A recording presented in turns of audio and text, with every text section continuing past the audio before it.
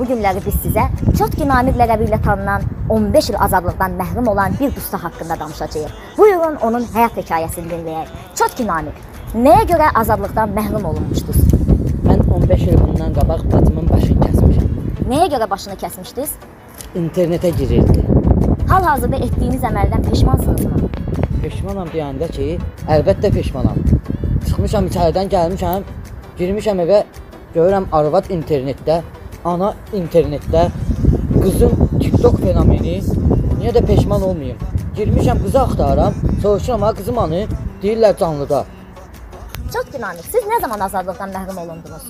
Mən 15 il 3 gün 6 saat 2 dəqiqə bundan qabaq azadlıqdan məhrum olmuşam. Gənclərə məsləhətiniz nədir? Boş-boş şeylərə görə bir-birimizi bıçaqlamayın. İnternet deyil. Girəcək, çıxacaq. Necə mən girdim, tuh.